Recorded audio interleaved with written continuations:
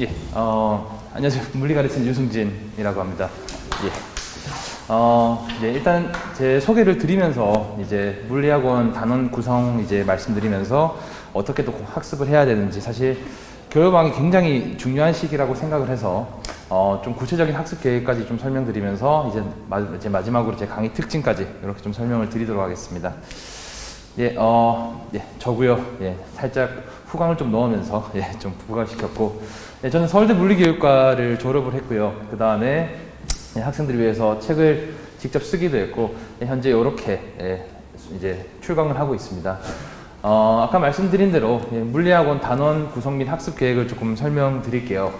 어, 사실 물리학 같은 경우에는 이제 다른 과학 과목과 가장 큰 차이점은 4단원이 아니라 3단원으로 구성이 되어 있습니다. 근데 보시다시피 제가 칼럼을 4개로 나눠 놨고요. 근데 앞에 칼럼 2개가 1단원에 해당하는 내용들입니다. 무슨 얘기냐면 어, 비록 이제 3단원으로 구성되어 있지만 실질적으로 거의 내용의 절반 이상이 어디에 포함되어 있느냐 1단원에 포함이 되어 있습니다. 그 다음에 이 1단원의 내용이 어, 학교에 이제 들어 이제 어, 내신 기간 들어가게 되면 사실상 1학기 에는 거의 1단원만 시험을 치르게 됩니다. 그래서 보통 이제 2학년 같은 경우에는 어, 1학기 중간고사의 역학 파트만 시험을 보통 보고 그 다음에 어, 기말고사 때 연력학이랑 상대론 그 다음 그 다음에 2학기 중간고사 때 전자기 그 다음에 어, 2학기 기말 때 이렇게 파동으로 진행하는 식으로 진행을 합니다. 해서 요 이제 내용 중에 조금 중요도를 이제 따지자면 실질적으로 431, 요 정도라고 보시면 될 것 같고요. 예, 그만큼 이 앞부분에 역학 내용이 굉장히 많이 중요하고 겨울 방학 때 이제 준비를 할 때는 사실 역학 파트에 좀 많은 방점을 주면서 어, 준비를 해야 된다라는 말씀을 좀 드릴 수 있을 것 같습니다. 해서 어, 이 내용들 중에 좀 어려운 내용도 그리고 좀 준비를 많이 해야 되는 내용들을 조금 더 설명을 드리면 일단은 일, 단원의 역학 전체 내용이 될 것 같고 그 다음에 이제 2단원 들어왔을 때 전기력 그 다음에 전류에 의한 자기작용 이렇게 세 파트 정도가 어, 굉장히 좀 문제가 어렵기 때문에 준비를 많이 해야 된다 라는 말씀을 드릴 수 있을 것 같습니다. 물론 이제 내용적인 측면만 따진다면 요두 내용보다는 역학 내용이 훨씬 더 많은 portion을 차지하고 있고 준비를 굉장히 꼼꼼하게 해야 되는 파트다 라고 볼 수 있을 것 같습니다. 어, 사실 이제 제일 중요한 부분인데요 어, 제가 이제 어떤 수업을 이제 하는지 그리고 제 강의 특징들을 조금 설명드리도록 하겠습니다. 그래서 제가 키워드별로 이렇게 분류를 시켜놨는데 어, 일단은 굉장히 근본을 많이 강조하는 수업을 진행을 하고 그 다음에 시간, 고퀄, 동행 이렇게 어, 키워드를 좀 써놨습니다. 그래서 하나하나 좀 자세하게 말씀드리도록 하겠습니다. 네, 일단 첫 번째로 어, 물리는 암기 과목이 아니다라는 말씀을 좀 드리고 싶고요. 사실 생물이나 지학의 경우에는 물론 이제 생물의 경우 유전 파트를 생각을 한다면 조금 문제풀이 많이 중요되는 파트지만 그래도 좀 과목 전체로 본다면 물리 같은 경우는 어, 굉장히 어, 이해를 많이 해야 되는 예, 그런 어, 과목이라고 생각하시면 될 것 같습니다. 그래서 어, 한 가지 예를 제가 이렇게 좀 들고 왔는데 예, 실제로 제가 이제 판사하면서 이렇게 수업을 진행하는 내용이고요. 뭐 예를 들어서 학생들한테 특수 상대성 이론을 가르칠 때도 마찬가지입니다. 왜 요 명칭이 특수 그리고 상대성 그리고 이론인지를 굉장히 근본적인 내용부터 파고들면서 이렇게 쭉 스토리 라인을 그려오면서 어, 학습을 해야 사실 문제 풀때 어, 조금 더 원리를 물어본다면 어, 그런 거에 대해서 대처할 수 있는 학습이 될 것 같고요. 그래서 실질적으로 어, 겨울 방학의 경우에는 조금 더 개념이 많은 개념 쪽에 많은 어, 치중하는 수업이기 때문에 굉장히 이렇게 근본적인 내용들을 많이 다룬다라는 설명을 좀 드릴 수 있을 것 같습니다. 예, 그 다음에 예, 시간입니다. 그래서 효율 그리고 테크닉이라고 나와 있는데 사실 물리라는 과목은 어, 문제를 풀 때 풀이가 굉장히 여러 개 나옵니다. 그래서 예를 들어서 어, 2021학년도 9월 모의평가 20번에 나왔던 문항을 하나 들고 왔습니다. 이 문항에 대해서 굉장히 많은 풀이가 존재할 수 있고 실제로 EBS에 이제 모범 답안이라고 나와 있는 게 이렇게 나와 있습니다. 근데 어, 어쨌든 학생들이 이제 시험을 친다는 얘기는 결국 제한된 시간 내에서 문제들을 다 풀어내야 되는 예, 어떻게 보면 이제 흔히 얘기하는 time attack의 요소가 굉장히 강하죠. 그래서 우리가 마치 논술을 쓰듯이 문제를 푸는 연습을 하는 게 아니라 주어진 상황을 빠르게 해석을 하고 다음 그림처럼 빠르게 해석을 하고 바로 효율적으로 technical하게 문제를 풀 수 있는 연습을 해야 된다라는 말씀을 드릴 수 있을 것 같아요. 해서 어, 똑같은 방식으로 배우더라도 어, 똑같은 이제 파트를 배우더라도 최대한 효율적으로 그리고 어, 문제 상황을 빠르게 이해할 수 있는 예, 그런 수업을 들어야 이렇게 문제를 잘 풀어낼 수 있다라는 말씀을 드리고 싶고요. 어, 그 다음에, 예, 유형 그리고 최적화라고 제가 또 써놨습니다. 이제 무슨 얘기냐면, 사실 앞의 내용과 굉장히 일맥상통하는 내용인데, 결국 문제를 굉장히 컴팩트하게 빠른 시간 내에 풀기 위해선 유형화가 필요하고, 그리고 그 유형에 따른 풀이를 최적화시킬 필요가 있다라는 말씀을 드리고 싶습니다.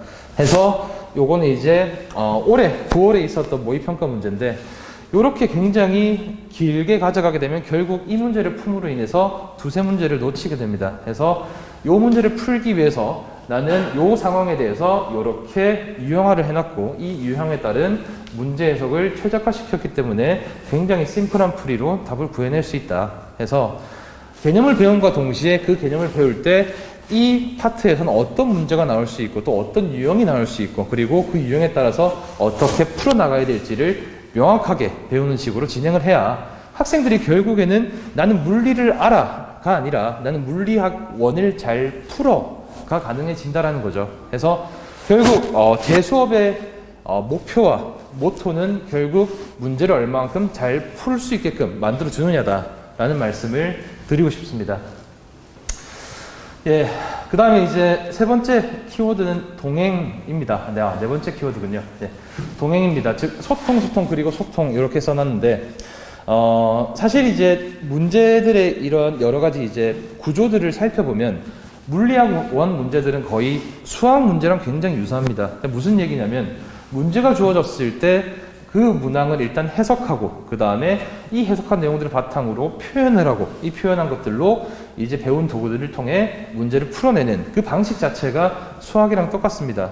그러니까 왜 이런 얘기를 하냐면 결국 우리가 학생들이 이제 수학을 준비하고 공부하는 과정들을 보면 굉장히 어, 질의응답이 많이 이루어지고요. 그리고 그 속에서 많은 발전들을 합니다. 그래서 학생들이 언제든지 쉽게 쉽게 저한테 질문하면서 나아갈 수 있게끔 네이버 밴드를 통해서 이렇게 질의응답을 예, 진행을 하고 있고요. 그 다음에 이제 수업을 듣고 나서 다시 한번 또 듣기 원하는 학생들이 되게 많습니다. 왜냐하면 어, 복습을 하고 싶은 목적이 있고 문제를 또 풀려는 안 풀리니까 다시 한번 듣고 풀기 위해서 어, 복습 영상을 좀 원하는 경우가 많아서 이렇게 복습 영상을 어, 유튜브를 통해서 제공을 하고 있고요. 어, 사실은 이제 작년, 어, 올해까지는 이렇게만 진행을 하다가 어, 학생들한테 조금 더, 조금 더 어, 공부를 하는데 더 도움이 되고 싶다라는 생각을 하면서 어떻게 하면 될까라고 생각하다가 어, 이제 내년부터는 제가 일주일에 한 번씩 이렇게 유튜브 라이브를 켜서 학생들이 조금 더 네, 숙제를 하거나 복습을 할 때 다시 한번 어, 질문할 수 있도록 해서 목요일 밤에 제가 유튜브 라이브를 어, 이제 계속 진행을 할 예정입니다. 그 다음에 유튜브 라이브를 하면서 또 학생들 좀 실력이 올라온다면 이렇게 미니 모의에서 같이 같이 진행할 수 있는 예, 최대한 소통이 되는 예, 수업을 진행을 하려고 합니다. 어, 해서 이제 제 수업에 대한 설명은 여기까지였고요. 사실 이제 어, 아직 아, 예, 좀더 이제 드릴 말씀이 하나 더 있는데 사실 이제 다른 학원들에서는 보통 일주일에 한 번 수업을 하면서 어, 9회 내지 10회 정도 수업을 해요.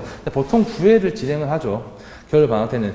근데 이제 제가 이 대치메카 학원에서는 어, 총 12회 수업을 진행을 하고요. 그래서 아마 프린트 받으신 거를 보면 두 번째 페이지에 제가 1회차부터 9회차까지 진도 내용이 아마 나와 있을 겁니다. 그래서 제가 1회부터 9회까지는 어, 다른 학원들과 동일하게 다른 학원에서 수업하는 거랑 동일하게 개념 진도를 쭉쭉쭉쭉 진행을 합니다. 근데 어, 나머지 3회는 그럼 뭘 하느냐?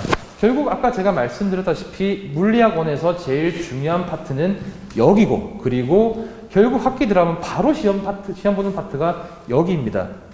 근데 결국 겨울 방학에 9회 안에 끝내게 되면 아무래도 문제 풀이가 조금 부족할 수밖에 없고 그 다음에 이 파트를 설명할 때 심화된 내용을 설명하기가 좀 힘듭니다. 왜냐 물리학원을 처음 하는데 이 물리학원 문제를 잘 풀기 위해서 물리학원 외의 내용들까지 끌고 들어온다? 처음 하는 학생들한테 굉장히 버겁겠죠. 해서 저는 이제 12회 수업하는 여기에서는 9회가 끝나고 나서 나머지 3회는 문제풀이를 넣으면서 이 파트에 대한 심화를 진행합니다. 보통 이 심화 내용은 학생들이 이제 학기 들어가서 내신 대비할 때 많이 하는데 저는 여기서는 충분한 시간적 여유가 있기 때문에 나머지 3회에 대해서는 바로 심화를 들어갑니다. 해서 어 아마 이제 그 학기 들어가서 이제 기숙사에 들어가는 예를 들어 뭐 올해 제가 맡았던 외대부고나 이런 학교들 같은 경우에는 아무래도 뒤에 3회 수업까지 있으면 굉장히 도움이 많이 될 거다라는 말씀을 좀 드리고 싶고요. 그래서 예, 여기 9회 너머에 나머지 3회는 역학 내용을 들어갈 거다라는 말씀 드리고 싶고 마지막으로 한 가지만 더 설명을 드리면 어, 수업 구성 자체가 위에 나와 있는데 제일 첫 30분은 테스트를 봅니다. 테스트를 보는데 이제 풀이를 하고 이제 쭉 이론 강의를 진행을 하죠. 근데 고 이제 기본 수업 즉 이제 고2 대상 보통 이제 뭐 고1이 되기도 하지만 어쨌든 기본 수업에서 제가 방학 수업 9회를 하는 동안 테스트는 오로지 역학만 봅니다. 왜냐? 아까도 말씀드렸지만 결국 여기가 제일 중요하고 당연히 다 보긴 해야겠지만 여기가 제일 중요하기 때문에 테스트는 역학만 보게 될 거고 결국 1회차, 2회차, 3회차, 4회차까지 누적되면서 역학이 끝나고 나면 5, 6, 7, 8, 9회차의 테스트는 오로지 역학만 볼 거다 해서 적어도 학생들이 학기에 들어갔을 때 첫 시험을 잘 볼 수 있게끔 예, 그 목표를 가지고 진행을 하려고 합니다. 해서 어, 제 수업에 대한 설명은 여기까지고요. 어, 시간이 조금 예, 뭐 약간 남은 것 같아서 조금 더 설명을 드리면 어, 사실 저에 대한 얘기를 조금 살짝만 좀 말씀드리고 예, 끝내도록 할게요. 어, 사실 이제 저는 물리학 원을 가르친 지 5년 정도가 됐고 사실 중간에 이제 어, 여러 가지 좀 과정이 있으면서 어, 잠깐 수학을 가르치러 갔다 온 적이 있습니다. 근데 다시 왜 물리로 돌아왔냐면 한, 한 3개월 정도밖에 안 돼요. 왜 다시 물리로 돌아왔냐면 아, 결국 내가 뭘 잘하는가, 결국 뭘 잘 가르칠 수 있는가. 예를 들어 사실 그래 학생들이 막 얘기를 하다가 쌤은 물리 풀 때 어때요? 라는 질문들을 하면 저는 솔직히 보자마자 답이 바로 나옵니다. 왜냐면 딱 보면 어떤 구조인지가 보이고 여기서 풀면 어떻게 갈지가 보이고 해서 제가 풀이에 대한 확신이 있기 때문에 그 과정들을 학생들한테 알려주려고 하는 겁니다. 그래서 어, 굉장히 유익한 수업을 학생들한테 제공하도록 하겠습니다. 제, 제 설명 여기까지 하겠습니다.